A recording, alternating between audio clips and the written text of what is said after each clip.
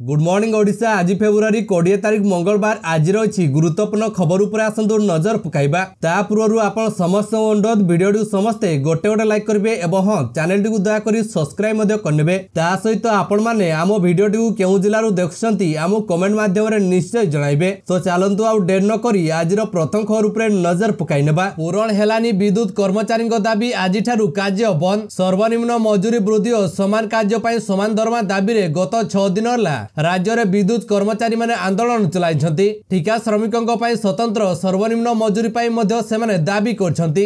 ନିଖିଳ ଓଡ଼ିଶା ବିଦ୍ୟୁତ ମହଜୁଦ ମହାସଂଘ ବ୍ୟାନରରେ ବିକ୍ଷୋଭକାରୀମାନେ ଫେବୃଆରୀ ଚଉଦ ତାରିଖରୁ ଭୁବନେଶ୍ୱର ଲୋୟର ପିଏମଜିରେ ଧାରଣାରେ ବସିଛନ୍ତି। ଜାନୁଆରୀ ଏକତିରିଶ ତାରିଖରେ ରାଜ୍ୟ ସରକାର ଓ ବିଦ୍ୟୁତ ବିତରଣ କମ୍ପାନୀକୁ ସାତ ଦଫା ଦାବିପତ୍ର ପ୍ରଦାନ କରାଯାଇଥିଲେ ହେଁ କୌଣସି ମାରାତ୍ମକ ପ୍ରତିକ୍ରିୟା ମିଳିନାହିଁ। ବିକ୍ଷୋଭକାରୀଙ୍କ କହିବା ଅନୁଯାୟୀ ନଅଟି ଜିଲ୍ଲାର କୋଡ଼ିଏଟି ଡିଭିଜନ ଦଶ ହଜାରରୁ ଅଧିକ ଶ୍ରମିକ ଆନ୍ଦୋଳନରେ ସାମିଲ ହୋଇଛନ୍ତି। ଦାବି ପୂରଣ ନହେଲେ ମଙ୍ଗଳବାର ଠାରୁ ଆନ୍ଦୋଳନକୁ ତୀବ୍ର କରିବା ସହ ରାଜ୍ୟବ୍ୟାପୀ କାର୍ଯ୍ୟ ବନ୍ଦ ଆନ୍ଦୋଳନ କରାଯିବ ବୋଲି ସେମାନେ ଚେତାବନୀ ଦେଇଛନ୍ତି। ତ ଚାଲନ୍ତୁ ପରବର୍ତ୍ତୀ ଖବର ଉପରେ ନଜର ପକାଇ ନେବା আজ বরগড় যে মুখ্যমন্ত্রী গঙ্গাধর মেহর উঠা জলসেচন প্রকল্পর করবে উদ্ঘাটন বহু দিনর অপেক্ষা পরে পূরণ হওয়া যাচ্ছে বরগড়বাসী স্বপ্ন আজ বরগড় গস্তরে যাই গঙ্গাধর মেহর উঠা জলসেচন প্রকল্পর শুভ উদ্ঘাটন করবে মুখ্যমন্ত্রী এসহ জেলা মুখ্য চিকিৎসালয়ের নির্মিত কর্কট রোগ চিকিৎসা কেন্দ্র ও নৃসিংহনাথ পীঠর বিকাশ রূপান্তরণ আদির উদ্ঘাটন সহিত অন্য অণষাঠিয়ে কোটি বিভিন্ন প্রকল্পর উদ্ঘাটন করবে মুখ্যমন্ত্রী নবীন পট্টনাক এ ব্যতীত বিভিন্ন উন্নতিমূলক প্রকল্পর ভিত্তিপ্রস্তর স্থাপন ଭିତ୍ତିପ୍ରସ୍ତର ସ୍ଥାପନ କରିବେ ମୁଖ୍ୟମନ୍ତ୍ରୀ ନବୀନ ପଟ୍ଟନାୟକ ତ ଚାଲନ୍ତୁ ପରବର୍ତ୍ତୀ ଖବର ଉପରେ ନଜର ପକାଇ ଏମଏସପି ଗ୍ୟାରେଣ୍ଟିରୁ କମ୍ ମଞ୍ଜୁର ନୁହେଁ କେନ୍ଦ୍ର ସରକାରଙ୍କ ପ୍ରସ୍ତାବକୁ ଖାରଜ କଲା କୃଷକ ମୋର୍ଚ୍ଚା କେନ୍ଦ୍ର ସରକାରଙ୍କ ଏମଏସପି ପ୍ରସ୍ତାବକୁ ଖାରଜ କରିଦେଲା ସଂଯୁକ୍ତ କିଷାନ ମୋର୍ଚ୍ଚା କେନ୍ଦ୍ର ସରକାର ନୂଆ ଫର୍ମୁଲା ଆଧାରରେ ଏମଏସପି ଦେବାକୁ ପ୍ରସ୍ତାବ ଦେଇଥିଲେ ହେଲେ ଚାଷୀ ସଂଗଠନ ସଂଯୁକ୍ତ କିଷାନ ମୋର୍ଚ୍ଚା ଏହାକୁ ସ୍ୱୀକାର କରିବାକୁ ସିଧା ସିଧା ମନା କରିଦେଇଛି କେନ୍ଦ୍ର ସରକାର ଚାଷୀଙ୍କ ଆଗରେ ମକା କପା ମୁସର ସମେତ ପାଞ୍ଚଟି ଫସଲ ଉପରେ ଏଟୁ ବା ଏଫଏଲ ପଚାଶ ପ୍ରତିଶତ ଆଧାରରେ ଫସଲ କିଣିବାକୁ ପ୍ରସ୍ତାବ ରଖିଥିଲେ ହେଲେ କୃଷକ ମୋର୍ଚ୍ଚା ତରଫରୁ କିନ୍ତୁ ସି ଟୁ ପ୍ଲସ ପଚାଶ ପ୍ରତିଶତ ଫର୍ମୁଲାରେ ଏମଏସପି ଗ୍ୟାରେଣ୍ଟି ଦାବି କରାଯାଇଛି। କିଷାନ ମୋର୍ଚ୍ଚାର କହିବା କଥା ହେଲା ବିଜେପି ଦୁଇ ହଜାର ଚଉଦ ମସିହାରେ ନିଜ ଘୋଷଣାପତ୍ର ଏନେଇ ପ୍ରତିଶ୍ରୁତି ଦେଇଥିଲା। ଯାହାକୁ ଏବେ ବିଜେପି ମନା କରିଛି ତ ଚାଲନ୍ତୁ ପରବର୍ତ୍ତୀ ଖବର ଉପରେ ନଜର ପକାଇ ନେବା ଅଟକିଲା ଭାରତ ଜୋଡ ନ୍ୟାୟଯାତ୍ରା କୋର୍ଟରେ ହାଜର ହେବେ ରାହୁଲ ଗାନ୍ଧୀ। କେନ୍ଦ୍ର ସ୍ୱରାଷ୍ଟ୍ରମନ୍ତ୍ରୀ ଅମିତ ଶାହଙ୍କ ବିରୋଧରେ ଆପତ୍ତିଜନକ ମନ୍ତବ୍ୟ ଦେଇ ମାନହାନି ମାମଲା ସାମ୍ନା କରୁଥିବା କଂଗ୍ରେସ ନେତା ରାହୁଲ ଗାନ୍ଧୀ କୋର୍ଟରେ ହାଜର ହେବେ। ସୋମବାର ଫେବୃଆରୀ ଉଣେଇଶରେ କଂଗ୍ରେସ ଜାତୀୟ ସାଧାରଣ ସମ୍ପାଦକ ଜୟରାମ ରମେଶ ଏହି ସୂଚନା ଦେଇଛନ୍ତି। ସେ କହିଛନ୍ତି ମଙ୍ଗଳବାର ଫେବୃଆରୀ କୋଡ଼ିଏରେ ରାହୁଲ ଗାନ୍ଧୀଙ୍କ ଉତ୍ତରପ୍ରଦେଶ ଚାଲିଥିବା ଯାତ୍ରା ଏକ ଦିନ ପାଇଁ ବନ୍ଦ ହେବ କାରଣ ସେ ସୁଲତାନପୁରର ଏକ ସିଭିଲ କୋର୍ଟରେ ହାଜର ହେବେ ଏବଂ ମାନହାନି ମାମଲାରେ ତାଙ୍କ ବିରୋଧରେ ଦିଆଯାଇଥିବା ସମନ ଉପରେ ଜବାବ ଦେବେ। ଦୁଇ ହଜାର ଅଠରରେ ଅମିତ ଶାହଙ୍କ ବିରୋଧରେ ଆପତ୍ତିଜନକ ମନ୍ତବ୍ୟ ଦେଇଥିବା ଅଭିଯୋଗରେ ଭାଜପା ନେତା ବିଜୟ ମିଶ୍ରା ରାହୁଲ ଗାନ୍ଧୀଙ୍କ ବିରୋଧରେ ମାନହାନି ମୋକଦ୍ଦମା ଦାୟର କରିଥିଲେ। ଏହି ମାମଲାରେ ସୁଲତାନଗଞ୍ଜ କୋର୍ଟ ରାହୁଲ ଗାନ୍ଧୀଙ୍କୁ ସମନ ଜାରି କରିଛନ୍ତି। ତ ଚାଲନ୍ତୁ ପରବର୍ତ୍ତୀ ଖବର ଉପରେ ନଜର ପକାଇ ନେବା। ଆଜି ଜମ୍ମୁ ଗସ୍ତ କରିବା ମୋଦି ତିରିଶ ହଜାର ପାଞ୍ଚଶହ କୋଟିରୁ ଅଧିକ ମୂଲ୍ୟର ଉନ୍ନୟନମୂଳକ ପ୍ରକଳ୍ପର ଉଦ୍ଘାଟନ ଓ ଶିଳାନ୍ୟାସ କରିବେ ପ୍ରଧାନମନ୍ତ୍ରୀ ମୋଦି। ପ୍ରଧାନମନ୍ତ୍ରୀ ମୋଦି ଆଜି ଜମ୍ମୁ ଗସ୍ତରେ ଯାଇ ତିରିଶ ହଜାର ପାଞ୍ଚଶହ କୋଟି ଟଙ୍କାରୁ ଅଧିକ ମୂଲ୍ୟର ଏକାଧିକ ଉନ୍ନୟନମୂଳକ প্রকল্পর উদ্ঘাটন ও শিলান্যাস করবে। পূর্বাহ্ন প্রায় সাড়ে এগারোটায় জামুর মৌলানা আজাদ স্টাডিয়ামে আয়োজিত এক সার্বজনীন কার্যক্রমে প্রধানমন্ত্রী একাধিক উন্নয়নমূলক প্রকল্পর উদ্ঘাটন করবে রাষ্ট্র উদ্দেশ্যে লোকার্পণ ও শিলান্যাস করবে তো চালু পরবর্তী খবর উপরে নজর পকাই নেবা ପାକିସ୍ତାନ ଠାରୁ ଅଧିକ ଧନୀ ହେଲା ଟାଟା ଗ୍ରୁପ ପାକିସ୍ତାନର ଅର୍ଥ ବ୍ୟବସ୍ଥାକୁ ଟପିଲା ଟାଟା ଜାଣନ୍ତୁ ଟାଟାର ମୋଟ ସମ୍ପତ୍ତି କେତେ? ପାକିସ୍ତାନଠୁ ଅଧିକ ଧନୀ ହେଲା ଟାଟା ଗ୍ରୁପ ଭାରତର ପଡୋଶୀ ରାଷ୍ଟ୍ର ପାକିସ୍ତାନର ଅର୍ଥ ବ୍ୟବସ୍ଥାକୁ ଟପି ଯାଇଛି ଭାରତର ଟାଟା ଗ୍ରୁପ। ପାକିସ୍ତାନର ମୋଟ ଡିଜିପିର ପରିମାଣ କେବଳ ତିନିଶହ ଏକଚାଳିଶ ଆରବ ଡଲାର ହୋଇଥିବା ବେଳେ ଟାଟା ଗ୍ରୁପର ମୋଟ ଅର୍ଥରାଶି ପରିମାଣ ଏବେ ତିନିଶହ ପଞ୍ଚଷଠି ଆରବ ଡଲାରରେ ପହଞ୍ଚିଛି। ଆଉ ପାକିସ୍ତାନଠୁ ଅଧିକ ଧନୀ ହୋଇଛି ଟାଟା ଗ୍ରୁପ ତ ଚାଲନ୍ତୁ ପରବର୍ତ୍ତୀ ଖବର ଉପରେ ନଜର ପକାଇ ନେବା ପାଞ୍ଚଟି ଜିଲ୍ଲାରେ ଲକ୍ଷ୍ମୀ ବସ୍ ସେବା ଶୁଭାରମ୍ଭ କଲେ ମୁଖ୍ୟମନ୍ତ୍ରୀ। ରାଜ୍ୟରେ ସୋମବାର ପାଞ୍ଚଟି ଜିଲ୍ଲାରେ ଲକ୍ଷ୍ମୀ ବସ୍ ସେବାକୁ ଉଦ୍ଘାଟନ କରିଛନ୍ତି ମୁଖ୍ୟମନ୍ତ୍ରୀ। ଏହି କ୍ରମରେ କନ୍ଧମାଳ ଜିଲ୍ଲାରେ ପଚାଶଟି ବସ୍ର ଶୁଭାରମ୍ଭ ହୋଇଛି।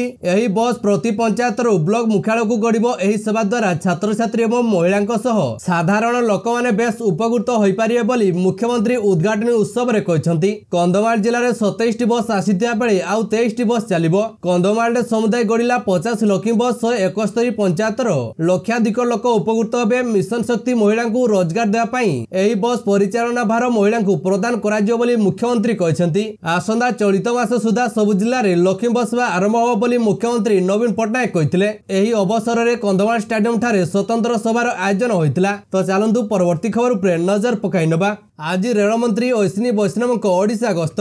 ମାନ୍ୟବର ରେଳ ଯୋଗାଯୋଗ ଏବଂ ଇଲେକ୍ଟ୍ରୋନିକ୍ସ ସୂଚନା ପ୍ରଯୁକ୍ତି ବିଦ୍ୟା ମନ୍ତ୍ରୀ ଶ୍ରୀ ଐଶ୍ୱିନୀ ବୈଷ୍ଣବ ଆଜି ଓଡ଼ିଶା ଗସ୍ତ କରିବେ। ଏହି ଗସ୍ତ ସମୟରେ ସେ ରେଳବାଇ କାର୍ଯ୍ୟକ୍ରମରେ ଯୋଗ ଦେବା ସହିତ ଆଭାସୀ ମାଧ୍ୟମରେ ଡାକ ବିଭାଗର ନିର୍ଦ୍ଧାରିତ କାର୍ଯ୍ୟକ୍ରମରେ ଯୋଗଦେବେ ମାନ୍ୟବର କେନ୍ଦ୍ର ଶିକ୍ଷା ଦକ୍ଷତା ବିକାଶ ଏବଂ ଉଦ୍ୟମିତା ମନ୍ତ୍ରୀ ଶ୍ରୀ ଧର୍ମେନ୍ଦ୍ର ପ୍ରଧାନ ବୁର୍ଲାସ୍ଥିତ ସମ୍ବଲପୁର ବିଶ୍ୱବିଦ୍ୟାଳୟର ବିଜୁ ପଟ୍ଟନାୟକ ଅଡିଟୋରିୟମ ଠାରେ ଏହି କାର୍ଯ୍ୟକ୍ରମରେ ଯୋଗଦାନ କରିବେ। ତ ଚାଲନ୍ତୁ ପରବର୍ତ୍ତୀ ଖବର ଉପରେ ନଜର ପକାଇ ନେବା ଆଜିଠାରୁ ମାଟ୍ରିକ ପରୀକ୍ଷା ନଅଟାରୁ ଆରମ୍ଭ ହେବ ପରୀକ୍ଷା ଦେଢ଼ ଘଣ୍ଟା ପୂର୍ବରୁ ହଲକୁ ପ୍ରବେଶ କରିବେ ଛାତ୍ରଛାତ୍ରୀ କପି ରଖିବାକୁ।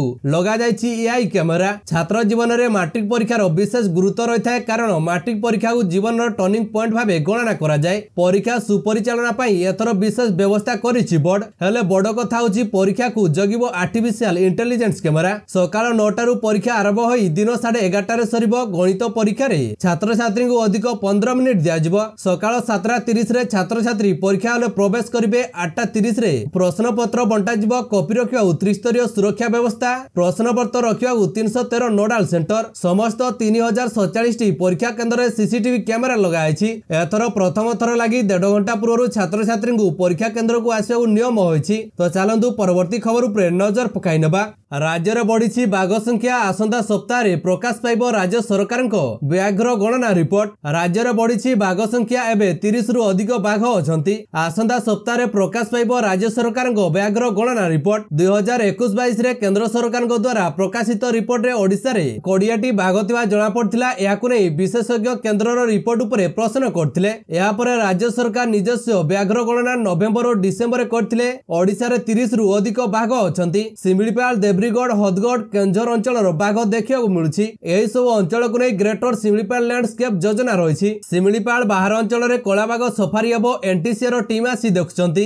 ଅକ୍ଟୋବରରେ ଏହା ଆରମ୍ଭ ହେବ ବାଘ ସୁରକ୍ଷା ପାଇଁ ରାଜ୍ୟ ସରକାର ସ୍ୱତନ୍ତ୍ର ଟାସ୍କ ଫୋର୍ସ ଗଠନ କରିଛନ୍ତି। ଏଥିପାଇଁ କର୍ମଚାରୀଙ୍କୁ ତାଲିମ ଦିଆଯାଉଛି। ଏହା ସହ ସୁଫଳ ମଧ୍ୟ ମିଳୁଛି। ତ ଚାଲନ୍ତୁ ପରବର୍ତ୍ତୀ ଖବର ଉପରେ ନଜର ପକାଇ ନେବା। ଆନ୍ଦୋଳନ ବେଳେ ଚାଲିଗଲା କୃଷକଙ୍କ ଜୀବନ। ଏମ୍ପିସିପି ଉପରେ ଗ୍ୟାରେଣ୍ଟି ଦାବି ନେଇ ଜାରି ରହିଛି କୃଷକଙ୍କ ଆନ୍ଦୋଳନ। ବିଭିନ୍ନ ଚାଷୀ ସଂଗଠନ ଏକାଠି ହୋଇ ଦିଲ୍ଲୀ ଚଲୋ ଡାକରା ଦେଇଛନ୍ତି। ଦିଲ୍ଲୀ ଚଲୋ ଡାକରା ଦେଇଛନ୍ତି ତେବେ ଏହି ଆନ୍ଦୋଳନ ବେଳେ ପ୍ରାଣ ହରାଇଛନ୍ତି ଜଣେ କୃଷକ।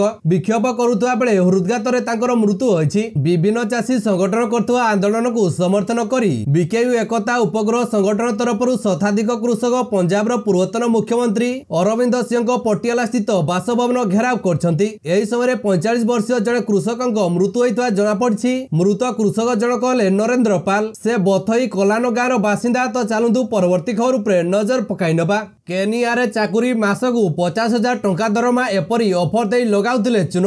କେନିଆରେ ଚାକିରି ମାସକୁ ପଚାଶ ହଜାର ଟଙ୍କା ଦରମା ବାସ୍ ଲୋଟି ପଡ଼ିଥିଲେ ଆଶାୟୀ ସେଥିପାଇଁ ପାସପୋର୍ଟ ଓ ପଚାଶ ହଜାର ଟଙ୍କା ଦେଲେ ହେଲେ ପରବର୍ତ୍ତୀ ସମୟରେ ଠକାମିର ଶିକାର ହେଲେ ଆଶାୟୀ ଯୁବକ। ଗଞ୍ଜାମରୁ ଆସିଛି ଏପରି ଅଭିଯୋଗ। ଏନେଇ ଅଭିଯୋଗ ହେବା ପରେ ବୟାନବେ ପାସପୋର୍ଟ ଜବତ କରିବା ସହିତ ତିନି ଜଣଙ୍କୁ ଗିରଫ କରି କୋର୍ଟ ଚାଲାଣ କରିଛି ପୋଲିସ। ତ ଚାଲନ୍ତୁ ପରବର୍ତ୍ତୀ ଖବର ଉପରେ ନଜର ପକାଇ ନେବା। ବିଶ୍ୱର ଶକ୍ତିଶାଳୀ ପାସପୋର୍ଟ ତାଲିକା ଜାରି ରାଙ୍କିଙ୍ଗରେ ଖସିଲା ଭାରତ। ଜାରି ହୋଇଛି ଦୁନିଆର ସବୁଠୁ ଶକ୍ତିଶାଳୀ ପାସପୋର୍ଟ ତାଲିକା। ସୋମବାର ହେଲନେ ତରଫରୁ ଜାରି ହୋଇଥିବା ପାସପୋର୍ଟ ଇଣ୍ଡେକ୍ସ ଦୁଇ ହଜାର ଚବିଶ ତାଲିକାରେ ଭାରତ ପଞ୍ଚାଅଶୀତମ ରାଙ୍କରେ ନିଜର ସ୍ଥାନ ପକ୍କା କରିଛି। ସେହିଭଳି ପ୍ରଥମ ସ୍ଥାନ ରହିଛି ଫ୍ରାନ୍ସ। ତେବେ କେବଳ ଫ୍ରାନ୍ସ ନୁହେଁ ପ୍ରଥମ ସ୍ଥାନରେ ରହିଛନ୍ତି ଆଉ ପାଞ୍ଚଟି ଦେଶ।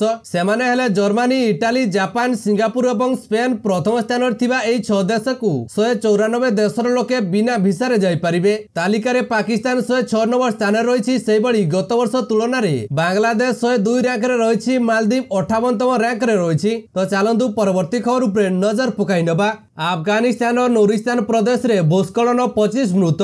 আফগানিস্তানর নুরিস্তান প্রদেশে ভূস্খলন যোগ প্রায় পঁচিশ জনক মৃত্যু ঘটছে। এ ব্যতীত নুরগ্রাম জেলার ভূস্খলন হেতু প্রায় দশ জন আহত হয়ে সূচনা রয়েছে সূচনা ও যোগাযোগ মুখ্য মোহাম্মদ অবদুল্লা জান এই ঘটনাকে নিয়ে কিন্তু প্রবল বর্ষা হেতু নুরগ্রাম জেলার নাকারাকারে অনেক স্থানের ভূস্খলন হয়েছে ভূস্খলন নাই নথিবা ক্ষয়ক্ষতি হয়েছে সূচনা রয়েছে প্রায় পনেরু কোড়িয়ে ঘর এই প্রাকৃতিক বিপর্যয় নষ্ট হয়ে সূচনা রয়েছে ତ ଚାଲନ୍ତୁ ପରବର୍ତ୍ତୀ ଖବର ଉପରେ ନଜର ପକାଇ ନେବା। ନିର୍ବାଚନ ପୂର୍ବରୁ ସରକାରଙ୍କ ଉପହାର ପେଢି ନଅ ଦିନ ହେଲା ବିଭିନ୍ନ ଯୋଜନାରେ ଘୋଷଣା ହେଉଛି ଆର୍ଥିକ ସହାୟତା। ନିର୍ବାଚନୀ ଚାଲ କହି କଟାକ୍ଷ କଲେ ବିରୋଧୀ। ନିର୍ବାଚନ ତାରିଖ ଘୋଷଣା ପୂର୍ବରୁ ବିଭିନ୍ନ ବର୍ଗଙ୍କ ପାଇଁ ଉପହାର ପେଢି ଖୋଲିଦେଇଛନ୍ତି ରାଜ୍ୟ ସରକାର। ଶେଷ ନଅ ଦିନ ହେଲା ଗୋଟିଏ ଗୋଟିଏ ପରେ ଗୋଟିଏ ଦଶରୁ ଅଧିକ ବର୍ଗ ପାଇଁ ଘୋଷଣା କରିଛନ୍ତି। ରାଜ୍ୟ ସରକାରଙ୍କ ଘୋଷଣା ପରେ ଆରମ୍ଭ ହୋଇଯାଇଛି ରାଜନୈତିକ ଆଲୋଚନା। ନିର୍ବାଚନ ଉପରେ ସରକାରଙ୍କ ଘୋଷଣାର ପ୍ରଭାବ କଣ ପଡିବ ସେ ନେଇ ଚର୍ଚ୍ଚା ଜୋର ଧରିଛି ଫେବୃଆରୀ ଦଶରେ ମଧୁବାବୁ ଭତ୍ତା ବୃଦ୍ଧି। ଫେବୃଆରୀ ଏଗାରରେ କେନ୍ଦୁ ପତ୍ର ତୋଳାଣୀଙ୍କ ବୋନସ ବୃଦ୍ଧି ଫେବୃଆରୀ ବାରରେ। ଯୁବବର୍ଗଙ୍କୁ ଲକ୍ଷେ ଟଙ୍କା ଋଣ ଫେବୃଆରୀ ତେରରେ ମମତା ଯୋଜନା ସହାୟତା ରାଶି ବୃଦ୍ଧି। ଫେବୃଆରୀ ଚଉଦରେ କଳାକାର ଭତ୍ତା ବୃଦ୍ଧି। ଫେବୃଆରୀ ପନ୍ଦରରେ ଆମ୍ବୁଲାନ୍ସ ଡ୍ରାଇଭରଙ୍କ ଭତ୍ତା ଦୁଇ ଗୁଣ। ଫେବୃଆରୀ ଷୋହଳରେ ମିଶନ ଶକ୍ତି ମହିଳାଙ୍କୁ ୟୁନିଫର୍ମ ଟଙ୍କା ଫେବୃଆରୀ ସତରରେ ପାଚିକାଙ୍କ ପାରିଶ୍ରମିକ ବୃଦ୍ଧି। ଫେବୃଆରୀ ଅଠରରେ ମାଟ୍ରନଙ୍କ ପାରିଶ୍ରମିକ ବୃଦ୍ଧି। ଗତ ନଅ ଦିନ ଭିତରେ ଏହିସବୁ ନିଷ୍ପତ୍ତି ସହ ଆହୁରି ଅନେକ ଘୋଷଣା କରିଛନ୍ତି ରାଜ୍ୟ ସରକାର। ବିଶେଷ କରି ମହିଳା ବୟସ୍କ ଯୁବବର୍ଗଙ୍କ ପାଇଁ ହାତ ଖୋଲିଦେଇଛନ୍ତି ରାଜ୍ୟ ସରକାର। ଏମିତି ଗୋଟିଏ ଦିନ ନାହିଁ ଯୋଉଦିନ କୌଣସି ନା କୌଣସି ବର୍ଗ ପାଇଁ ରାଜ୍ୟ ସରକାର ଆର୍ଥିକ ସହାୟତା ଘୋଷଣା କରିନାହାନ୍ତି। ତେବେ ନିର୍ବାଚନ ପୂର୍ବରୁ ଏହିସବୁ ଘୋଷଣା ଆଗାମୀ ନିର୍ବାଚନକୁ କେତେ ପ୍ରଭାବିତ କରିବ ସେ ନେଇ ସବୁଠି ଆରମ୍ଭ ହୋଇଛି ଚର୍ଚ୍ଚା। ନିର୍ବାଚନ ପୂର୍ବରୁ ଗୋଟିଏ ପରେ ଗୋଟିଏ ଘୋଷଣା କରି ଲୋକଙ୍କ ମନ ଜିଣିବାକୁ ରାଜ୍ୟ ସରକାର ଉଦ୍ୟମ କରୁଥିବା ବେଳେ ନିର୍ବାଚନୀ ଚାଲ କହି କଟାକ୍ଷ କରିଛନ୍ତି ବିରୋଧୀ ଦଳ। ତ ଚାଲନ୍ତୁ ପରବର୍ତ୍ତୀ ଖବର ଉପରେ ନଜର ପକାଇ ନେବା। ମୋଦିଙ୍କୁ ଚିଠି ଲେଖିଲେ ମମତା କହିଲେ ହଠାତ୍ ଅଚଳ ହୋଇଯାଇଛି ଲୋକଙ୍କ ଆଧାର କାର୍ଡ ପଶ୍ଚିମବଙ୍ଗ ମୁଖ୍ୟମନ୍ତ୍ରୀ ମମତା ବାନାର୍ଜୀ ସୋମବାର ପ୍ରଧାନମନ୍ତ୍ରୀ ନରେନ୍ଦ୍ର ମୋଦିଙ୍କୁ ଚିଠି ଲେଖି ସାଂଘାତିକ ଅଭିଯୋଗ ଆଣିଛନ୍ତି ରାଜ୍ୟରେ ରହୁଥିବା ଅନୁସୂଚିତ ଜାତି ଜନଜାତି ଓ ଅନ୍ୟ ପଛୁଆ ବର୍ଗର ଲୋକଙ୍କ ଆଧାର କାର୍ଡ ହଠାତ୍ ଅଚଳ ହୋଇଯାଇଛି। ଏହା ପ୍ରକୃତ ନ୍ୟାୟର ଘର ଉଲ୍ଲଗ୍ନ ବୋଲି ସେ ଚିଠିରେ ଅଭିଯୋଗ କରିଛନ୍ତି। ମମତା ଲେଖିଛନ୍ତି ଯେ ମୁଁ ଆପଣଙ୍କ ଧ୍ୟାନ ଆକର୍ଷଣ କରିବାକୁ ଚାହୁଁଛି ଯେ ହଠାତ୍ ଗୁରୁତର ପାତର ଅନ୍ତର ଘଟଣା ବେଙ୍ଗାଲୋରରେ ଘଟୁଛି।